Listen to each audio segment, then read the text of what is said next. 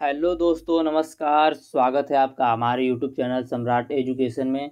दोस्तों, आज की इस वीडियो में आप लोगों को बीएससी एग्रीकल्चर सिक्स सेमेस्टर के एक विषय protected cultivation and secondary agriculture का पैंतीस मोस्ट इंपॉर्टेंट ऑब्जेक्टिव क्वेश्चन बताने वाला हूँ, जो कि आपके एग्ज़ाम के लिए बहुत ही ज़्यादा इंपॉर्टेंट है। जैसा कि मैंने पहले ही बताया था कि आप लोगों को प्रत्येक सब्जेक्ट का सौ सौ क्वेश्चन कराया जाएगा तो यह इस सब्जेक्ट का लास्ट वीडियो रहेगा। इसमें आप लोगों को पैंतीस क्वेश्चन देखने को मिलेगा।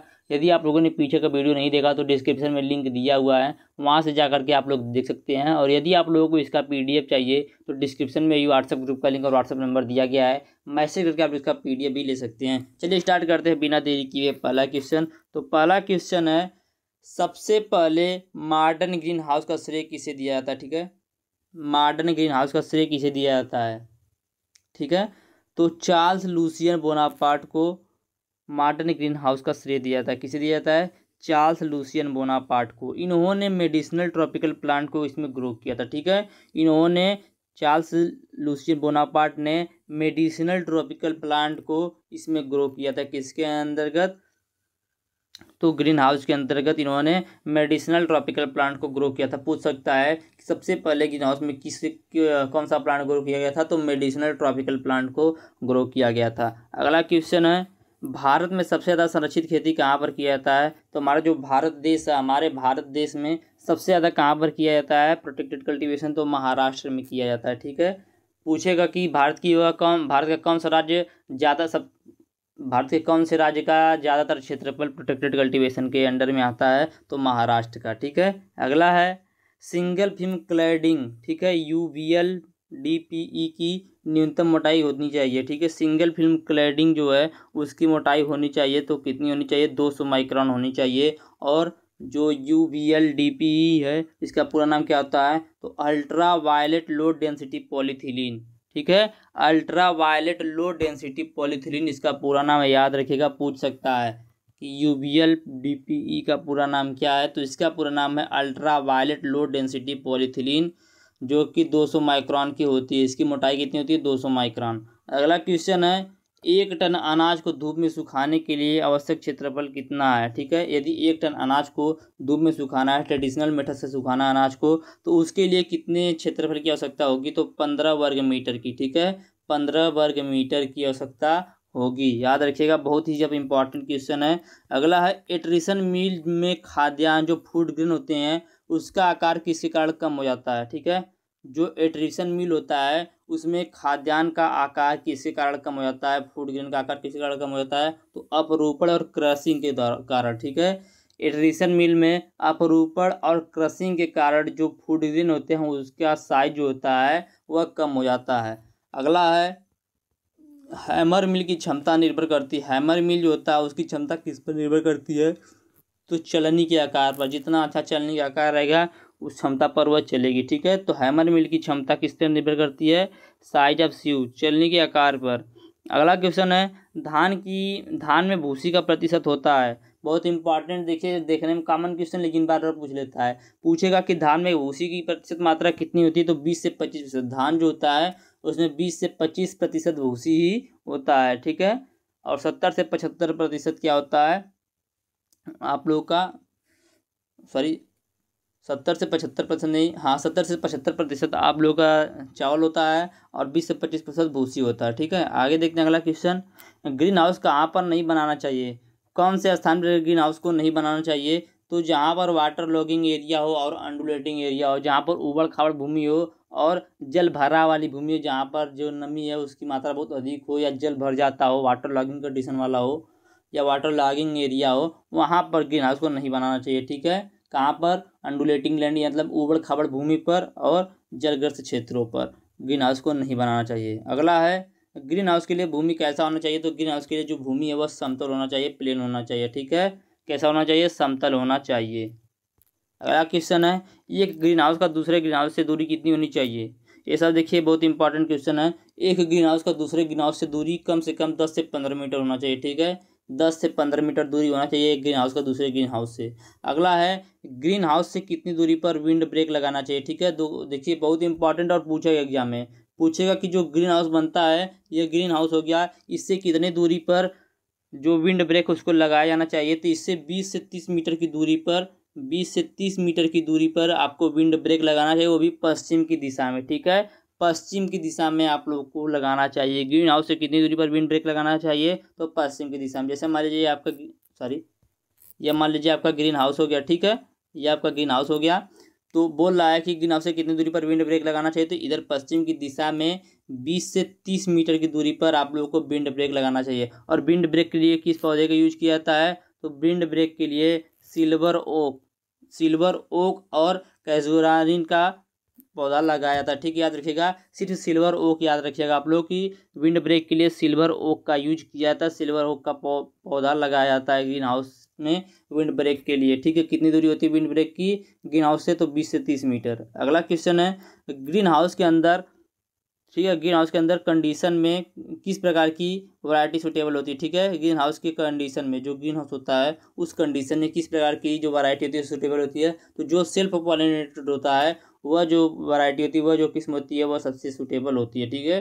अगला है संरक्षित खेती में सबसे ज़्यादा किस फूल की खेती की जाता है? जो संरक्षित खेती है, इसमें सबसे ज़्यादा किस फूल की खेती की जाती है? बहुत ही इंपॉर्टेंट क्वेश्चन है। तो इसमें सबसे ज़्यादा गुलाब की खेती की जाती है, उसके बाद जरबेरा की खेती की जाती है, ठीक है? तो संरक्षित खेती में सबसे ज़्यादा गुलाब की खेती की जाती है और सब्जियों की बात करें तो संरक्षित खेती में प्रोटेक्टेड कल्टिवेशन में सबसे ज़्यादा टमाटर की खेती की जाती है और संरक्षित खेती में सबसे ज़्यादा टमाटर अमेरिका के, अमेरिका प्रोडक्ट करता है मतलब अमेरिका में उत्पादन होता है सबसे ज़्यादा टमाटर का, ठीक है?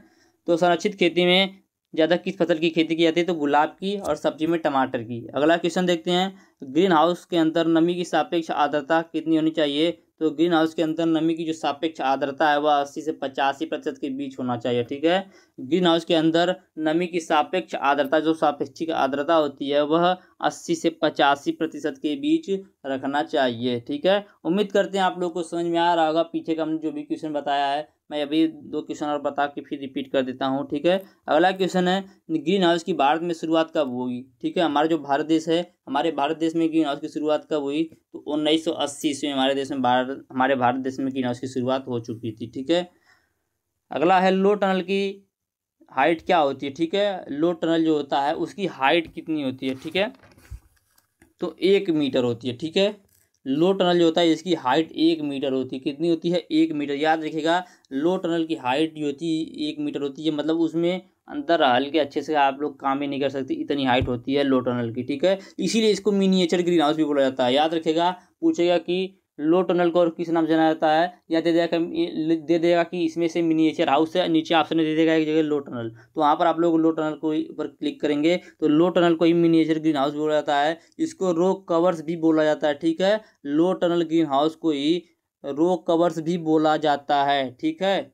और इसकी जो ऊंचाई होती है, वह एक मीटर होती है। लो टनल की हाइट कितनी होती है? एक मीटर होती है। अगला है वाक इंटरनल की साइज़ कितना होता है, जो वाक इंटरनल होता है, उसका आकार कितना होता है तो साठ से पचहत्तर वर्ग मीटर, ठीक है? साठ से पचहत्तर वर्ग मीटर लो टनल का क्या होता है? आकार होता है, इसकी लंबाई तीस मीटर होती है, ठीक है? लंबाई कितनी होती है? तीस मीटर होती है, और हाइट जो होती है इसकी हाइट जो होती है, वह दो से ढाई मीटर होती है, ठीक है? इसके अंदर आराम से टहल सकते हैं, वाक इंटरनल इसीलिए इसको बोला जाता है कि इसके अंदर आराम से टहल सकते हैं मजदूर जो है वर्कर जो है, आसानी से काम कर सकते हैं। इसीलिए इसको वाक टनल भी बोला जाता है, ठीक है? तो वाक टनल का हाइट जो है, दो से ढाई मीटर रखते हैं। इसकी लंबाई तीस मीटर होती है और उसका आकार पचहत्तर वर्ग मीटर में होता है, ठीक है?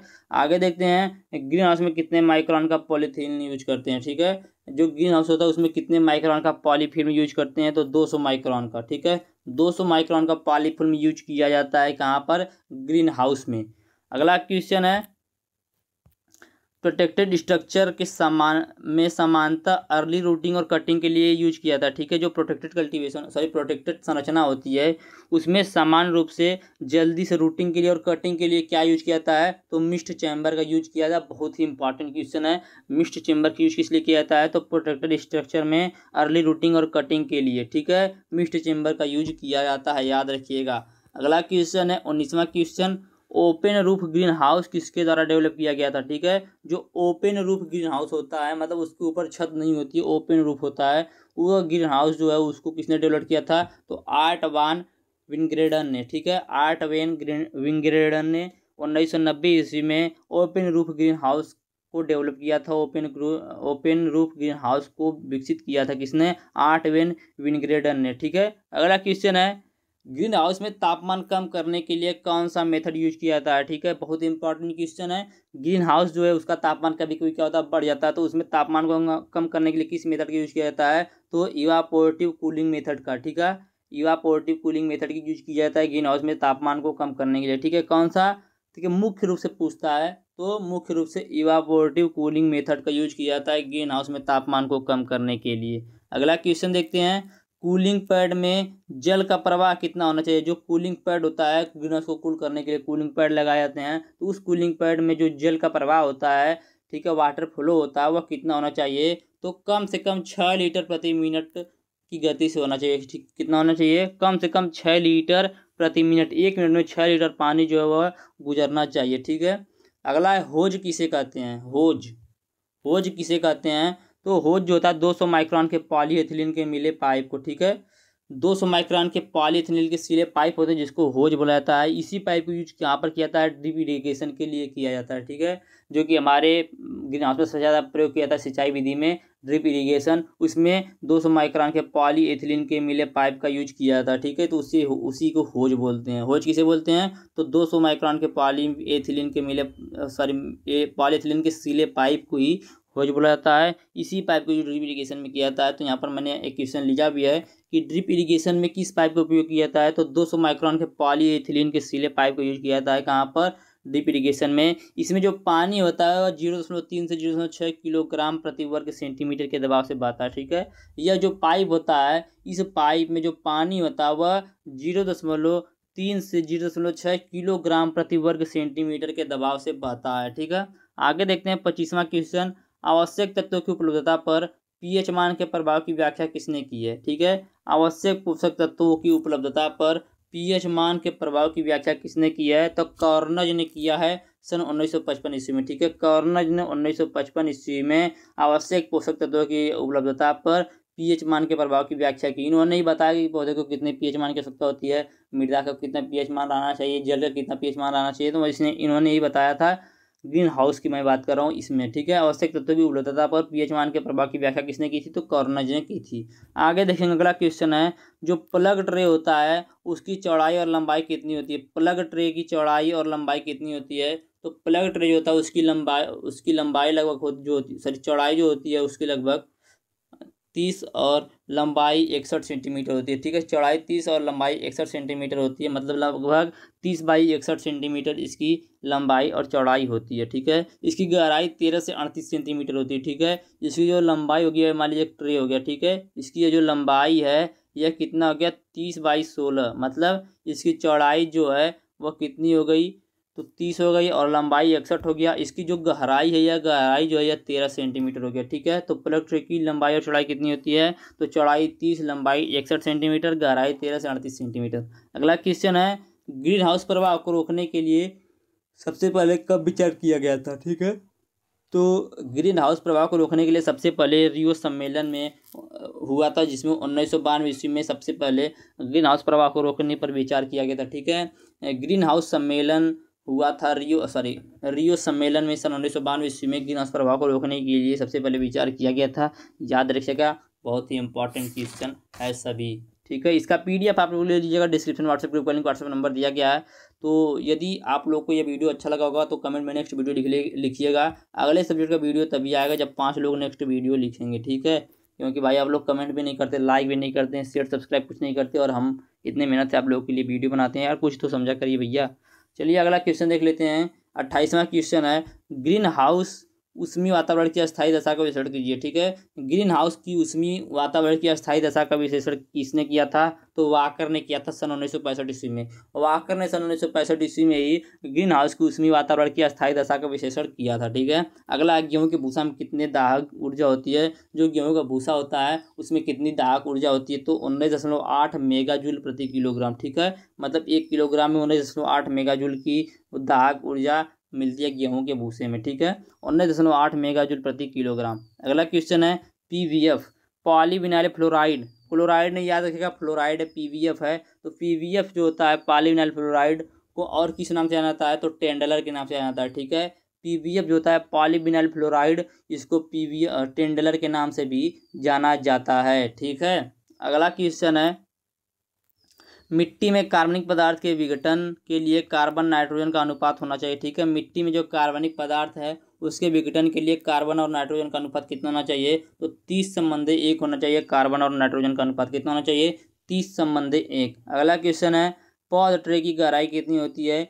तो पौध ट्रे की गहराई पच्चीस से पचहत्तर बीमी होती है, ठीक है? पच्चीस से पचहत्तर मिलीमीटर जो होती है, वो पौध ट्रे की गहराई होती है। अगला क्वेश्चन है, even span type green house की लंबाई, जो इवन स्पेन टाइप की ग्रीन हाउस होती है, उसकी लंबाई कितनी होती है? तो चौबीस मीटर के आसपास होनी चाहिए इसकी लंबाई, ठीक है? और इसकी ऊंचाई जो है, ढाई से साढ़े चार मीटर के बीच होती है, ठीक है? इसकी जो ऊंचाई होती है, वो ढाई मीटर से लेकर चार दशमलव तीन मीटर तक होती है।